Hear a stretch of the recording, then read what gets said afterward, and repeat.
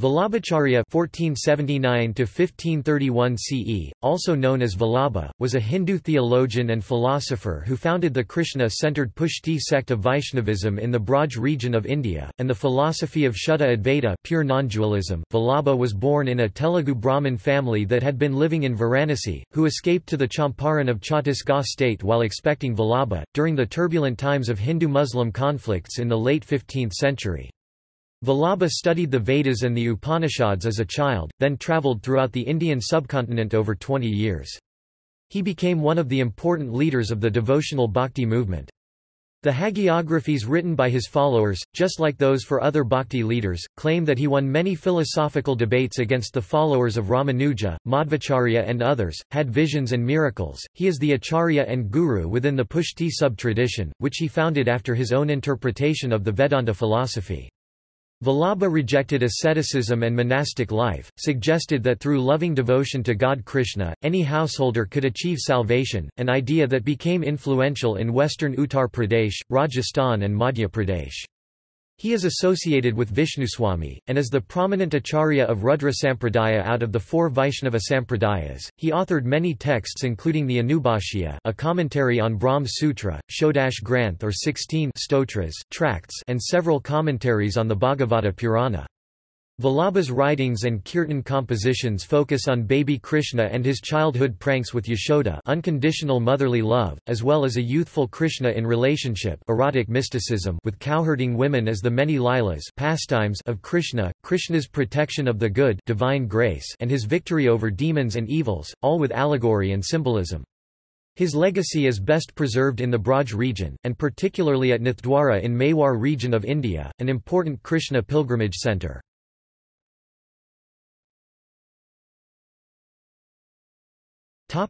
Life.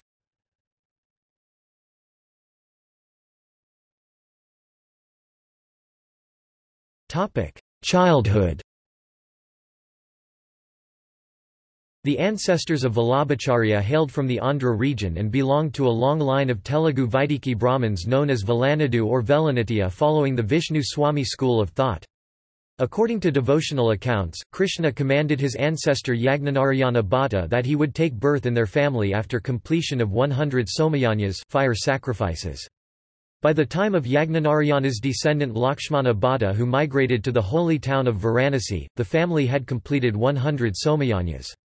Vallabhacharya was born to Lakshmana Bhatta in 1479 AD VS 1535 on the 11th day of the dark half of lunar month of Kshetra at Champaranya Vishaka Krishna Ekadashi. The name of his mother was Ilama. The period surrounding Vallabhacharya's birth was a tumultuous one and most of northern and central India was being influenced by Muslim invaders. It was common for populations to migrate in order to flee from religious persecution and conversion. On one such occasion, Lakshmana Bhatta had to urgently move out of Varanasi with his pregnant wife. Due to terror and physical strain of the flight suffered by the mother, there was a premature birth of the child, two months in advance. As the child did not show signs of life, the parents placed it under a tree wrapped in a piece of cloth. It is believed that Krishna appeared in a dream before the parents of Vallabhacharya and signified that he himself had taken birth as the child. According to popular accounts, the parents rushed to the spot and were amazed to find their baby alive and protected by a circle of divine fire. The Blessed Mother extended her arms into the fire unscathed, she received from the fire the divine baby, gleefully to her bosom. The child was named Vallabha meaning, dear one, in Sanskrit.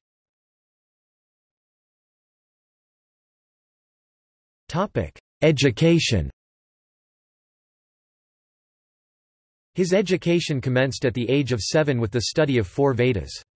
He acquired mastery over the books expounding the six systems of Indian philosophy. He also learnt philosophical systems of Adi Sankara, Ramanuja, Madhva, Nimbarka along with the Buddhist and Jain schools. He was able to recite a hundred mantras, not only from beginning to end but also in reverse order. At Vyankateshwar and Lakshmana Balaji, he made a strong impression on the public as an embodiment of knowledge. He was now applauded as Bala Saraswati. After studying till age of 11, he went to Vrindavan.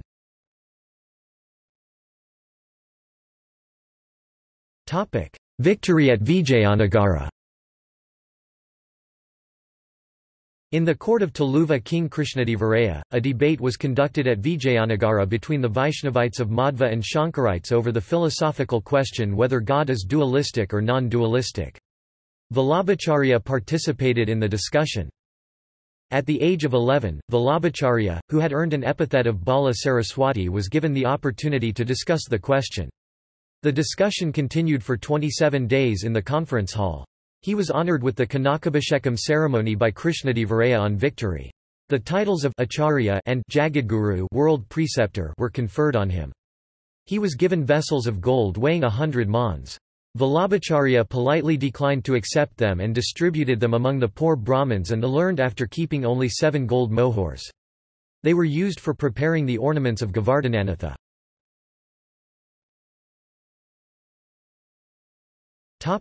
Pilgrimage of India Vallabhacharya performed three pilgrimages of India, barefoot. He wore a simple white dhoti and a white cloth to cover the upper part of his body known as upavarna, literally, upper cloth, in Sanskrit. He gave discourses on Bhagavata at 84 places and explained the meanings of the Puranic text. This 84 places are known as Churasi Baithak and now they are places of pilgrimage. He stayed in Vraja for four months in each year.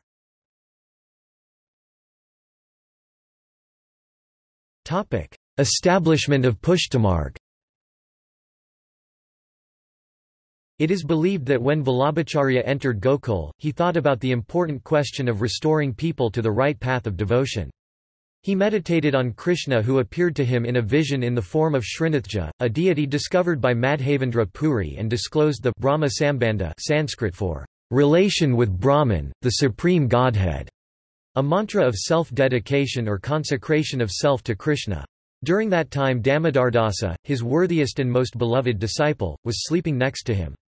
In the early morning, Vallabhacharya related this experience to Damodardasa and asked him, Damala, did you hear any voice last night?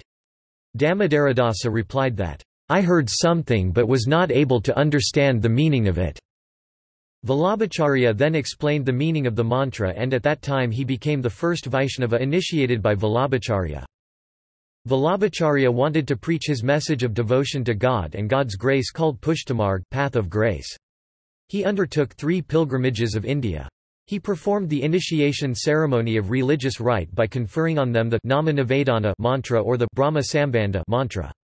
Thousands became his disciples, but 84 devoted servants are most famous and their life has been documented in Pushtimarg literature as the story of 84 Vaishnavas. He also met Vyas in his Himalayan cave and discussed Krishna and his flute.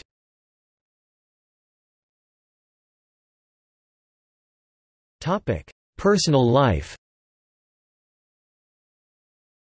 He intended to remain a lifelong celibate but the deity guru Vithoba of Pandharpur commanded him to marry and live the life of a householder. Obeying his guru, he married Mahalakshmi and had two sons, Gopinath and Vithalnath also known as Gusainji.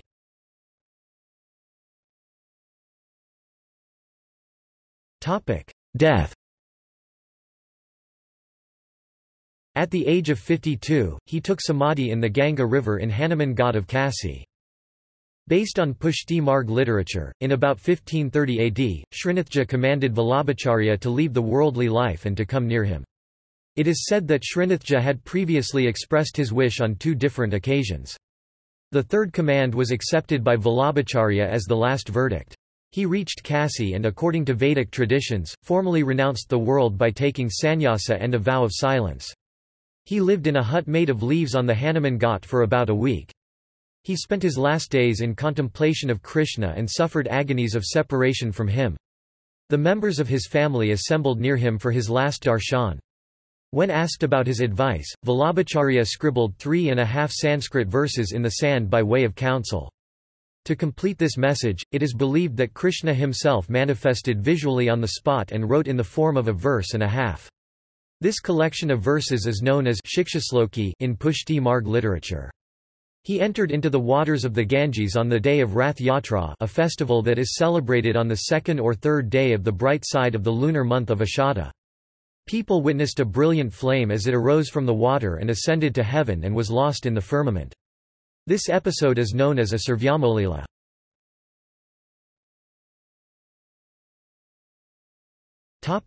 Pushtimarg Vallabhacharya represented the culmination of philosophical thought during the Bhakti movement in the Middle Ages.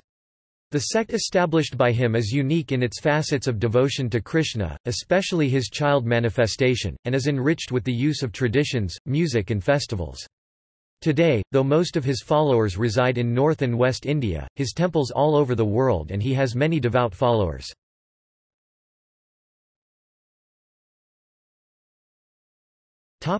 Works Vallabhacharya composed many philosophical and devotional books during his lifetime such as Anubhashya or Brahmsutranubhashya four cantos of commentaries on the Brahm Sutra of Ved Vyas Tattvarth Dip Nibandh, Essays on the Fundamental Principles of Spirituality three chapters. Chapter 1, Shastrarth Prakaran. Chapter 2, Bhagavatarth Prakaran. Chapter 3, Sarvanirnay Prakaran. Subodhini, commentary on Srimad Bhagavat Mahapuran only cantos 1, 2, 3 and 10 are available.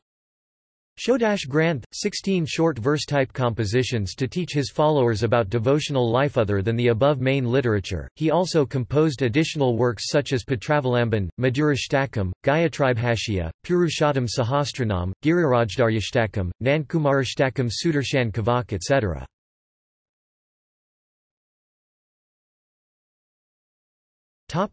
Commentaries and verses. C. 1479 to 1531. He wrote elaborate commentaries on Sanskrit scriptures, the Brahma Sutras Anubhasya, and Srimad Bhagwatam Sri Subodhini Ji, Tattvarth Dip.